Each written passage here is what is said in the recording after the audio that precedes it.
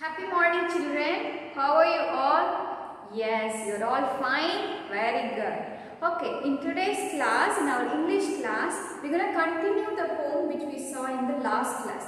Actually, we learned about the poem The Road Not Taken. So, last class, we have learned the poem The Road Not Taken, right? Which is written by Yes, very good. Robert Frost. The Road Not Taken is a poem which is written by Robert Frost. He is an American poet, right? Very good.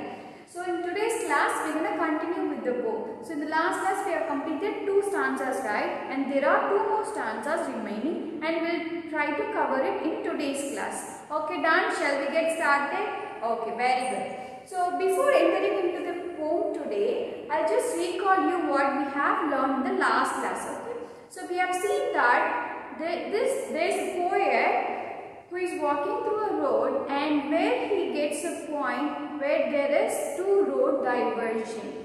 And he is there standing there very confused which road to take up right? Because both the road seems to be very similar and is not sure which road to take up.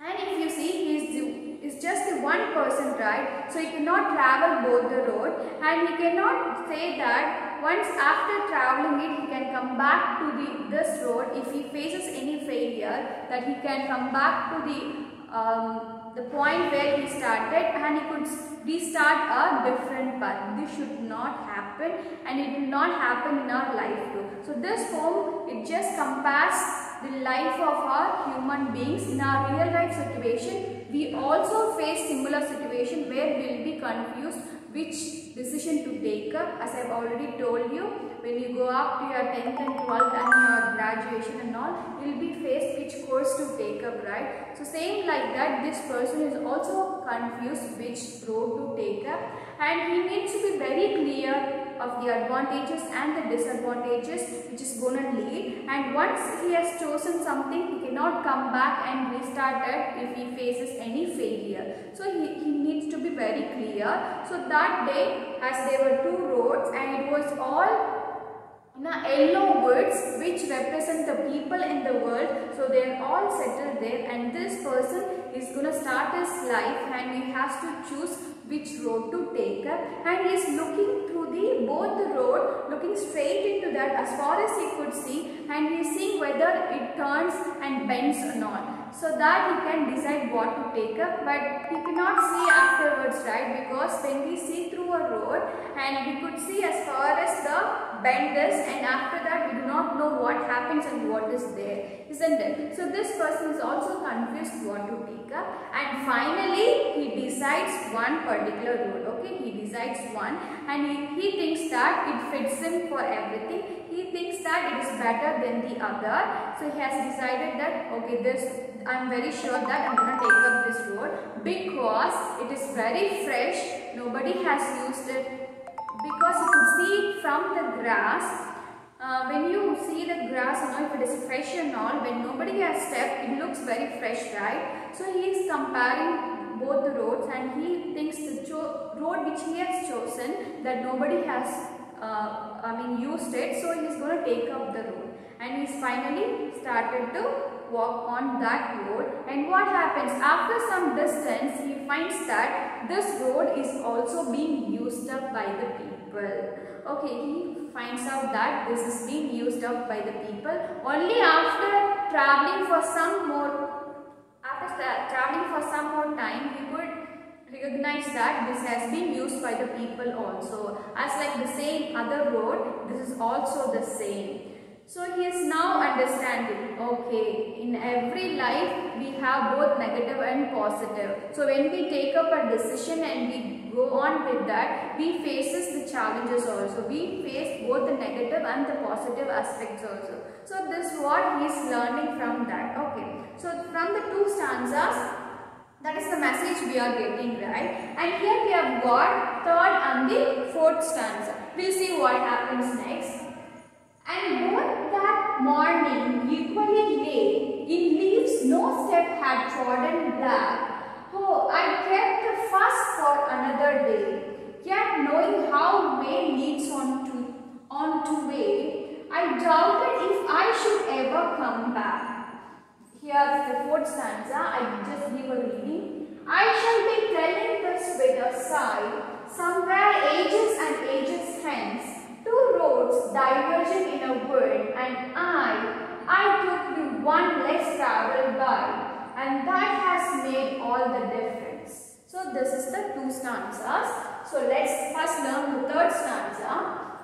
And both that morning equally lay, in leaves no step had trodden black. Oh, I kept the fuss for another day, yet knowing how May leads on to way, I doubted if I should ever come back. So he's saying that on that morning, as it is so fresh in the morning, both the roads looks very similar, okay? Both the roads look very similar. They look very fresh, okay? and both that morning equally lay. So both the roads they look very similar and same. In no step had trodden black. So you could not find out whether somebody has walked or not. So it is all very fresh. The leaves are all fresh. It doesn't show any, show any that uh, steps had been walked on. Oh, I kept the fast for another day.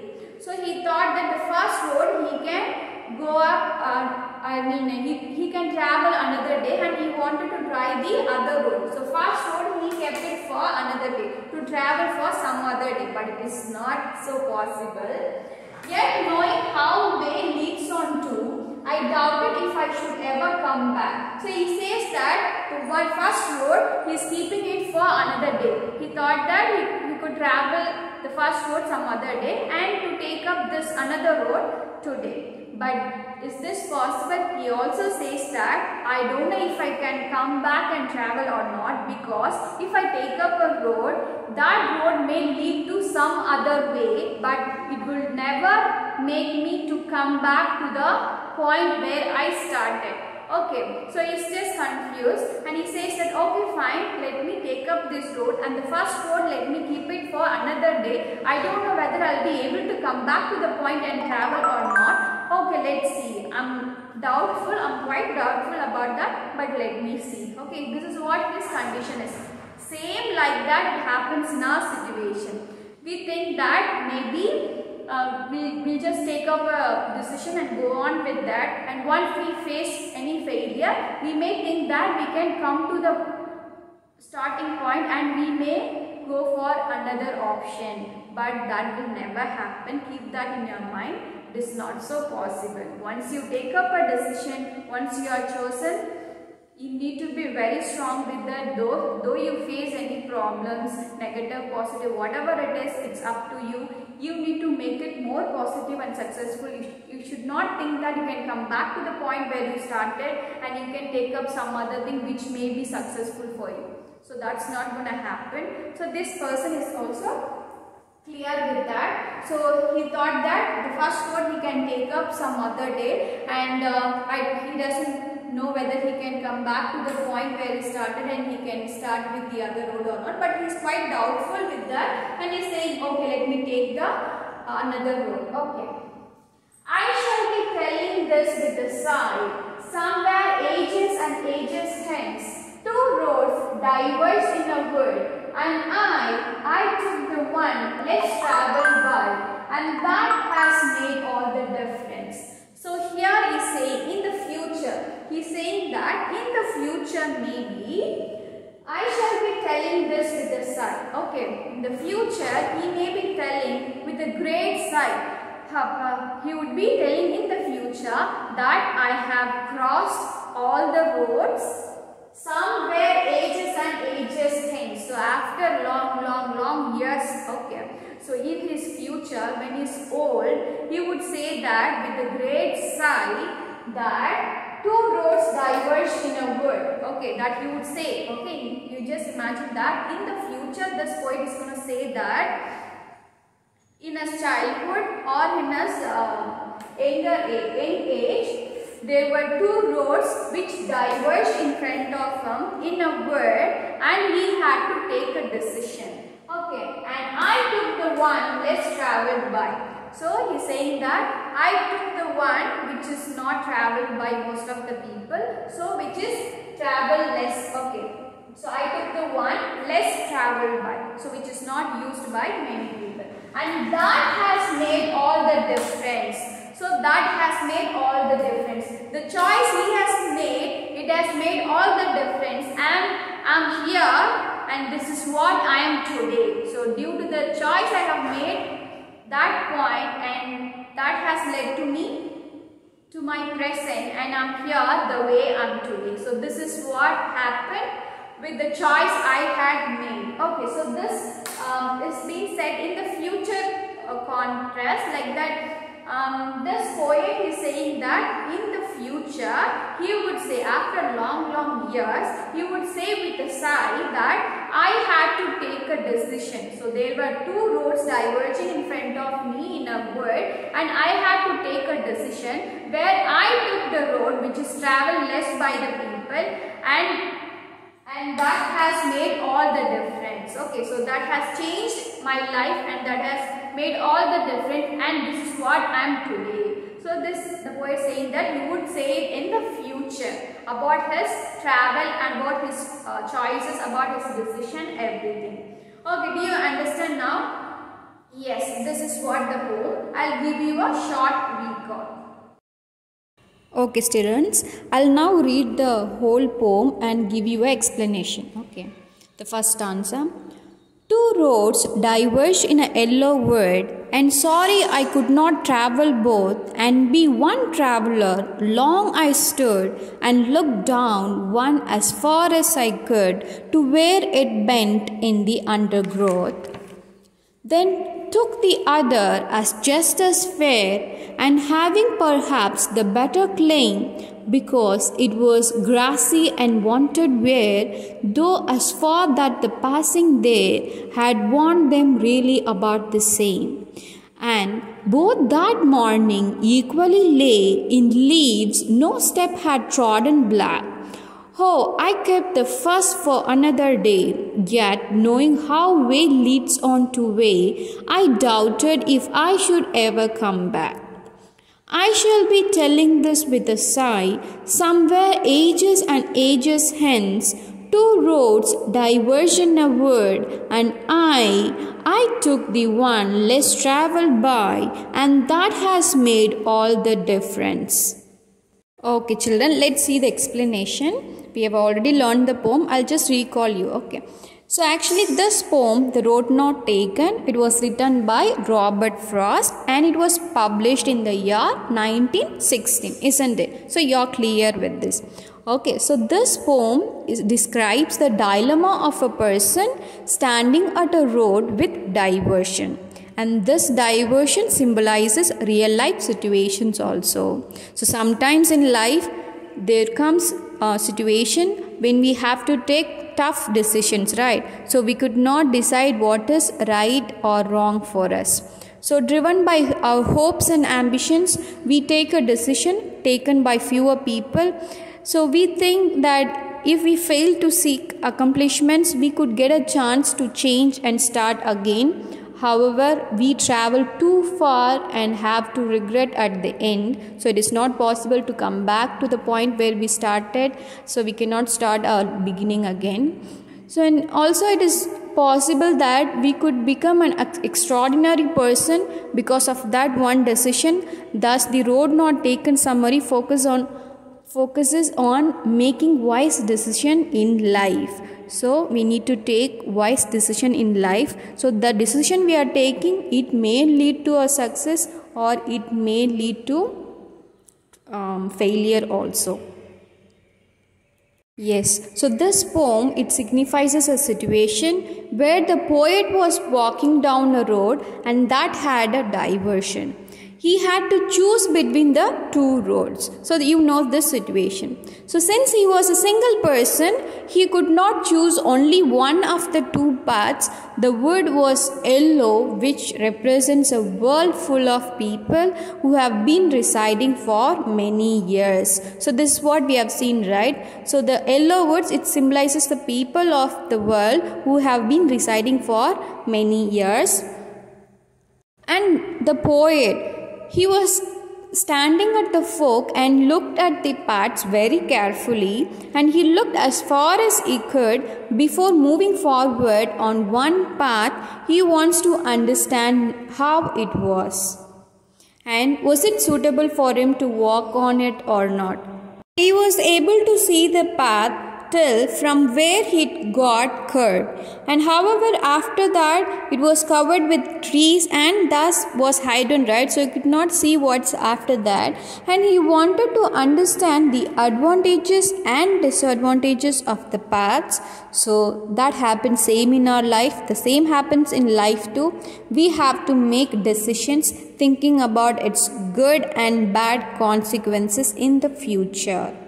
Okay, and the poet he looked at one path for a long time to decide whether it's good or not for him, and then he takes the alternative path as he feels that both paths are equally good, and he feels that the path he chose was better for him. The path was grassy, which depicted that it was walked over by fewer people and also it was wanted weird. So that path it depicted that it was walked over by fewer people because it was very grassy. So he thought that nobody has used this path. So i would take up this path which may lead to success. So this is the situation. So it depicted that the path was unused. However as he walks on the path for some distance, he realizes that both the paths were similar, similarly worn out. And even in our life, every decision has its own good and bad consequences. So we might think that we are in a better position than the others, but it is not the reality. Okay, we need to understand we have both good and bad things in our life, both good and bad I mean negative and positive aspects. So we should not think that we are in a very good position than the others and we should not dominate others. It is not the reality. Okay. And the poet here says that the two roads looked similar that morning. So this is about the third stanza. So he says that the two paths it looked similar that morning. Both were having leaves on them no one stepped on that and thus were very green. So, as nobody has stepped, stepped on the leaves, it was very fresh and green. He decided to move forward on one path and keep the other for another day. So, he wanted to go for the uh, one path and he wanted to take up the other path some other day. Although he knew that he would not be able to return back as one path would lead to another. So, this happens in our life also. We make a decision and we move forward in that direction. We think that we would get a chance to start over again if we fail, but that does not happen. Once a decision is taken, we need to go forward with that. It never happens that it would give you a chance to start over again. Okay, and the poet says that sometime in the future, so, in the fourth stanza, he says that sometime in the future, he will take a deep breath and tell that once in a lifetime, he had to take a tough decision. And he was standing at the diversion of two roads both looked to him equally well. Thus, he decides to move forward on the road which fewer people took. As a result, it has made him what he is today. So, that one decision shaped his future. So, similarly, in the future, when we grow up, and then we have to say that once upon a time, when we were in, a, in your age and all when we were in youth and all so you have to take tough decisions and the choice made by you had made you what you are today. So this is what's been happening. So from the poem we come to know that the poem tells us that we need to take careful decision. We should be very careful in making decisions in life. So one should be very wise and careful while making choices as our choices shape our future. Of course our choices the decision we make it shapes our future right? Yes. Also, once we make a decision, it is very difficult to change and start again. So, one bad decision could make us regret in regret it throughout the life and all this depends on the choices we make today. So all the future whatever it is it depends on the choices we make today. So that's why we need to take very wise and careful decision. Okay so this is a, what about this poem? We have successfully completed this poem. I hope you have understood. So for your homework the question and answers brief answers and detailed answers will be sent to you through pdf so kindly copy it down. And in the next class we'll start with a new lesson. Thank you children